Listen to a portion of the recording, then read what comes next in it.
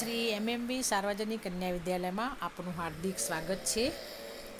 ધોરણ નવની અંદર આપણે પાઠ નંબર ચૌદ વાડી પરના વાલા વિશે અભ્યાસ કરીએ છીએ. એમાં આપણે અગાઉ કે વાડી ઉપર જે વડીલો ભેગા થઈને જે મોજ મસ્તી કરે છે અને ઋતુ પ્રમાણે જે બધા ભેગા થઈ અને ચણા શેકીને ખાય છે, મકાઈના દોડા હોય છે, એને બાફીને ખાતા હોય છે. પછી જે આપણે કહીએ છીએ ને પોંક પોંક એટલે કે કે જે ઘઉં આવે છે, ઘઉં વાયેલા હોય છે, એ ઘઉં હોય, પછી કે કે જુવાર હોય, એના જે પાક તૈયાર થયેલો હોય, એ લીલા, એનું પછી એને પોક કહેવામાં આવે છે. તો પોકનું ટાણું આવે ને, એમ, એમાં એક આનંદ અનેરો હોય છે, એ પણ કે પોકના ટાઈમે પોંક પણ ખાતા હોય છે. અને આ લેખક કહે છે કે રાત્રે પછી બધા ઉનાળો હોય તો રાત્રે મોડા સુધી કે બધા બેસતા હોય છે. અને ઘણીવાર શિયાળો હોય તો આપણે બધા ભેગા થાય અને આ રીતે કે કે શિયાળાની અંદર પણ કે કે તાપણું કરી અને આવી રીતે પોક શેકે, પછી શિયાળાની મકાઈ હોય તો શેકીને ખાતા હોય છે. અને એમ કરી અને પછી તે રાખના ઢગલા સુધી કે આપણે જ્યાં સુધી રાગ ગરમ હોય ત્યાં સુધી બેસી અને તાપણું કરે જતા હોય છે. અને આ રીતે કે એમાંથી કે વીણી વીણીને દાણો કોઈ આપણે બચી ગયેલો દાણો હોય તો મળી જાય તો એ ખાઈને એને કંઈક સંતોષ માનતા હોય છે. શંકાભર્યા મોલની અને માંડવીઓની અસામાન્ય તો નહીં, ચણ્યા, પપૈયા, જામફળ એ બધાની પાર્ટીઓ નાની મોટી ખાનગી હોય, ઘણે ભાગે એકાદ સાહસિક સફરની ફળ તો હોય જ. ચીજ લઈને પછીથી વાત વાતમાં કહી લઈએ તો દોષ મુક્ત થઈ જાય છે. એ માન્ય, માન્યતા પણ સાવ ગઈ નથી. ખાવા પીવાની જ માણસો મળે એવું નથી. વંજી વાંજવા, નળિયા ચડાવવા ઘઉંના પાળા બોધવા કે કોઈ વાર સોંતીનું કામ ઝાઝા હાથે માગતું હોય તો તાત્કાલિક ઝડપથી પતાવવા કાર્ય કરે, કાર્યો કરી દેવાના હોય તો લોકો એકબીજાને ત્યાં જાય ને ત્યાં અને ત્યારે સાથે, ત્યારે કામ સાથે કિલ્લોળ પણ થતો હોય છે.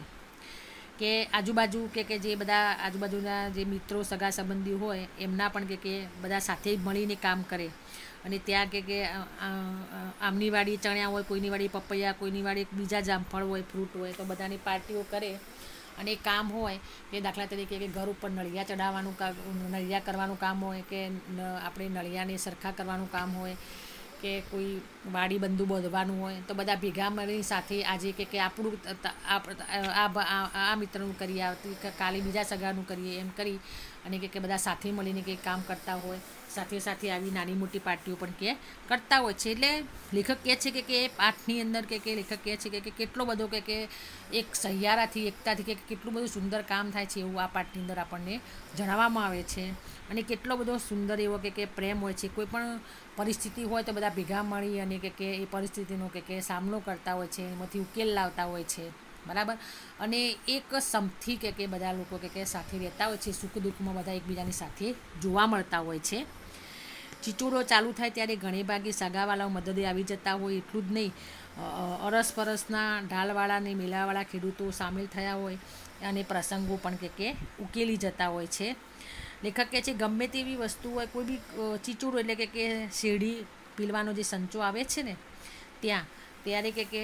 ત્યાં પણ કે કે શીરડી પીલાતી હોય અને એ વખતે કાર્ય વધારે હોય, તો પણ કે કે આજુબાજુવાળા માણસોને બધા સગા સંબંધીઓ આવી અને એકબીજાના કામની અંદર કે કે સામેલ થતા હોય છે અને કે કે બધા પ્રસંગ કે કે ઉકેલી આપતા હોય છે. જેમ કામના દોઢના દિવસો હોય, તેમ નવરાશના ગાળાના દિવસો પણ ખાસ કરીને ચોમાસામાં આવી જાય છે. ત્યારે કદી નવરાશ ન ભાળનાર જુવાનો પણ ચોપાટ ઉપર જામતા હોય છે અને મોડી રાત સુધી હર્ષનાદો થતા સંભળાતા હોય છે. ભજનની રાતો, ઠાકોર ઠાકોર ઠાકોર થાળી દોડિયા રાસની રાતો, સમૂહ આનંદની રાતો બની જતી હોય છે. ગામ કરતારવાળી પણ આ પ્રસંગે વધુ દીપી ઉઠે છે. આમ તો આમ આ તો થયા ઘણા પ્રસંગો, પણ રોજિંદા કામો પણ, કામોમાં જો પાંચ માણસો ભેગા કામ કરતા હોય, ત્યાં એકાદ આનંદી જીવડો હોય, સૌ ટોળી ટીક્કળ ચાળા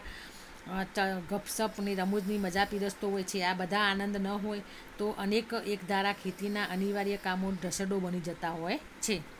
લેખક કહે છે કે કે બધા જ માણસો ભેગા મળી અને કે કે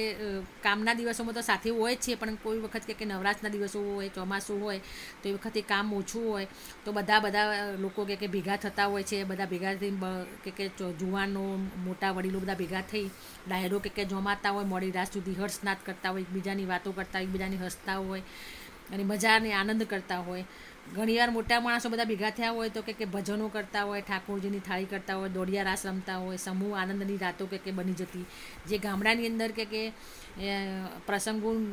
કે જેવા દુપી ઉઠે એના કરતાં પણ કે સુંદર પ્રસંગો કે કે આ લોકો વાડીની અંદર કે કે દીપાવતા. અને પ્રસંગોની અંદર કે કે ઘણીવાર કે કે રોજ કે કામોની અંદર કે થાકેલા માણસો તો કે થાક પણ ક્યાં ગાયબ થઈ જાય કોઈની ખબર પડે નહીં. પછી કે આવા બધા માણસો ભેગા થયા હોય, એમાં કોઈક માણસ હસી મજાકવાળો હોય કોઈ તિલક, ટોલ તિલકવાળો હોય ગપસકવાળો કોઈ મજાક પીરસતો હોય અને એમ કરી એકબીજાને આનંદ કે બધાના, બધા ભેગા મળીને આનંદ કે કે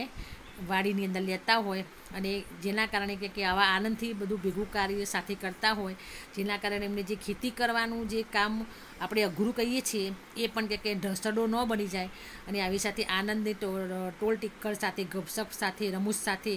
કે કે મજા સાથે કે કે એ લોકો કામની કે કે સુંદર રીતે કે કે બધું કાર્ય પાર પાડતા કામના વાડીના જે કાર્યો હોય છે એ સુંદર રીતે કે કે પાર પાડતા.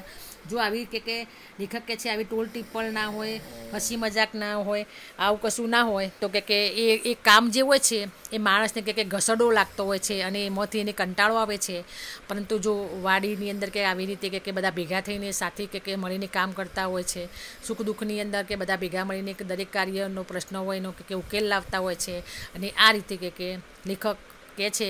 કે આવી રીતે વાડીની અંદર કે કે લોકો કે આવી રીતે આનંદ માણે છે અને જેના કારણે એમને જે ખેતીનો જે આનંદ જે છે એ કે કે સુંદર રીતે મળે છે. સાથે સાથે હેલ્થ પણ એમનું કે કે સુંદર રીતે કે કે રહેતું હોય છે અને આ રીતે કે કે સુંદર મજાની કે કે કુદરતી વાતાવરણની અંદર એટલે કે કે સરસ તાજી હવા સાથે લોકો પોતાનું જે જીવન જે છે એ કે કે ગુજારતા હોય છે, એનું નિરૂપણ કે આ પાઠની અંદર સુંદર રીતે કરવામાં આવેલું છે. અને એ લેખક કહે છે, આ રીતે કે કે જો આવા કાર્ય કરવામાં આવે તો આપણે કોઈ પણ કાર્ય હોય તો કે કે એ કાર્ય આપણને ઢસડો નથી લાગતો અને એ કાર્ય કરવાની આનંદની મજા કે ઓર જોવા મળતી હોય છે. જે વસ્તુ કે કે આપણે ખેતરની અંદર પાકતી હોય છે કે આપણે લેખકે કહ્યું કે આપણે પપૈયા છે દાડમ છે, પછી લેખકે આપણે કહ્યું કે કે પોંખ છે, એટલે કે ઘઉંનો પોંખ આવે છે એ ઘઉંનો પોંખ છે, મકાઈ છે. તો આ બધી વસ્તુ કે કે જે ખાવાનો આનંદ કે જે વાડીએ આવતો હોય છે, એ કે કે, એ બહુ મીઠો લાગતો હોય છે. અને બધાની સાથે એ કે કે ખેતરની અંદર કે કે જે કોલસા પાડી અને જે શેકવામાં આવે છે, તો એ, એની જે મીઠાશ કે કે જે હોય છે ઓર જ હોય છે અને સ્વાસ્થ્ય માટે પણ સારી હોય છે, એવું આ પાઠની અંદર લેખકે બતાવેલું છે. તો અહીંયા આપણો આ વાડી પરના વાલા પાઠ દરેક વિદ્યાર્થીની સમજ પડી ગઈ છે. આ પાઠ અહીંયા આપણે પૂરો થાય છે. અસ્તુ જય હિન્દ.